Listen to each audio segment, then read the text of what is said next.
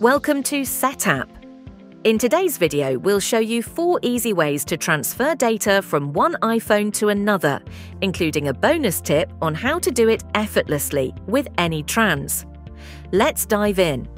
First up, we have Apple's Quick Start. This is the fastest way if both iPhones are near each other. Simply turn on your new iPhone and place it close to the old one. You'll see a quick start screen on the old device just tap Continue. Then follow the prompts to complete the transfer wirelessly. Your app's settings and data will be copied over automatically. Next, let's use an iCloud backup. On your old iPhone, go to Settings, tap your Apple ID, then iCloud, and select iCloud Backup.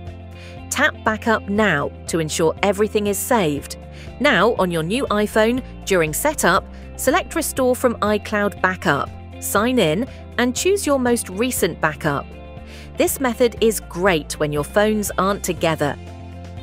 If you prefer using a computer, you can transfer data via iTunes on Windows or Finder on macOS. Connect your old iPhone to your computer, open iTunes or Finder, and create a full backup. Once the backup is complete, connect your new iPhone and select Restore from Backup.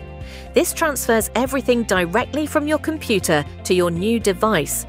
Now, for a faster, more flexible option, AnyTrans.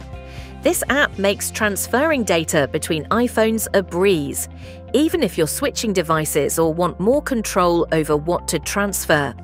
With AnyTrans, just connect both devices to your computer, select Phone Switcher, and choose the data you want to transfer contacts, photos, messages, and more.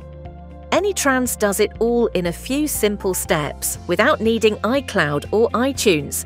Plus, it gives you the freedom to choose exactly what to move to your new device.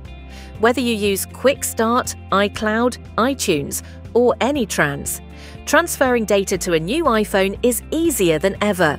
For even more flexibility, give AnyTrans a try, available on SetApp.